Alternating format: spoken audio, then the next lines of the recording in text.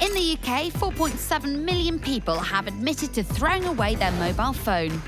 But companies like Fairphone want to change that, claiming their handsets are so simple to fix you can do it yourself. Question is, are they? And is their latest model any good? So, this week we're looking at the Fairphone 4. Do you look at the packaging first of all? Mm-hmm. It's just made from paper and card, Yeah. easily recyclable. There's not a lot of it, which is Yeah. nice. Is quite heavy.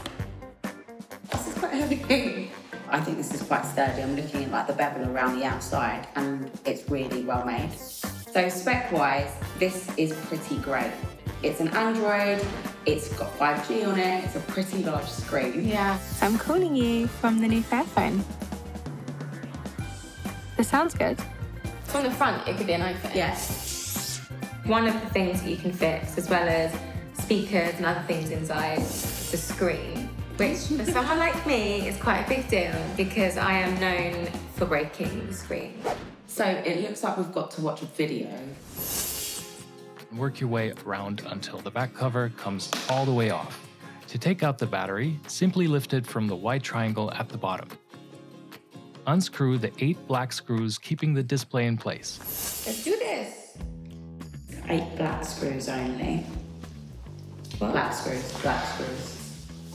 Just the black screws, Deb. I was definitely taking out the wrong screws at the beginning, but it's fine, it's fine. I've already done it wrong. Okay. I found it relatively easy to do. I mean, once you watch the video Yeah. and then mess around a couple of times. And listen. okay, cool. But the fact that you could just change the bits you need to fix yourself at home and just order the parts, it's fantastic.